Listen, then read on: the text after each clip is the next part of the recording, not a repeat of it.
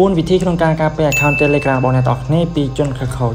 ថ្មីថ្មីនេះអ្នកទាំងអស់គ្នាបានឃើញថាមាន account Telegram ជាច្រើនត្រូវបានគេ hack ដោយសារតែពួកគាត់បានចុចទៅលើ link អ្វីផ្ដេសផ្ដាសអញ្ចឹងនៅក្នុងថ្ងៃនេះខ្ញុំនឹងបង្ហាញ4វិធីដើម្បីការពារ account Telegram របស់អ្នកទាំងអស់គ្នាឲ្យកាន់តែមានសុវត្ថិភាពអញ្ចឹងទី1គឺ two step verification អញ្ចឹងអ្នកទាំងអស់គ្នាចូលមកកាន់ Telegram របស់អ្នកទាំងអស់គ្នាមកបន្តមកទៀតសូមអ្នកទាំងអស់គ្នាចុចពីថា setting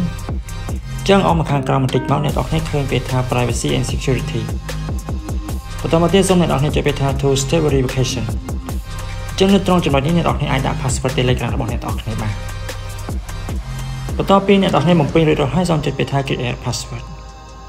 អញ្ចឹងមកដល់ត្រង់ចំណុចនេះបើសិនជាអ្នកទាំងអស់គ្នាចង់ដាក់ពាក្យសម្ងាត់ឬមួយក៏ password មកតង់ទៀតអ្នកទាំងអស់គ្នាបំពេញមក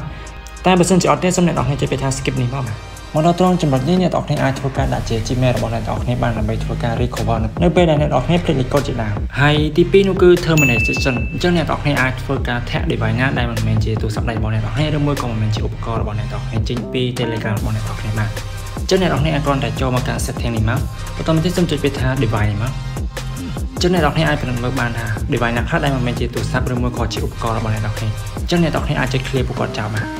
អញ្ចឹងខ្ញុំសូម clear 14 Pro Max នេះចុះបាទ ចុចលើនឹងមកហើយចុចពីថា terminate session